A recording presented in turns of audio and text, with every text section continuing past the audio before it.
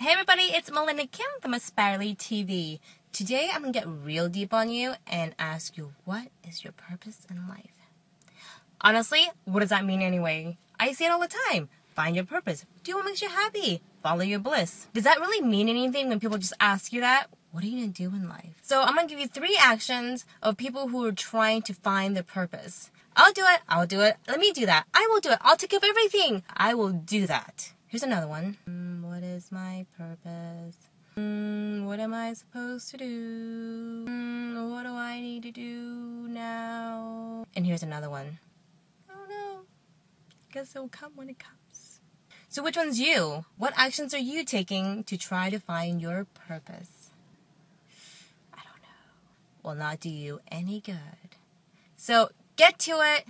Get up, move, just do something. That is my message today.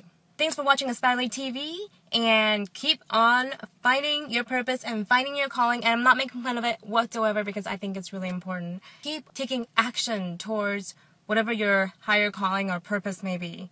And I hope you have a spectacular, fantastical day. I will see you next time.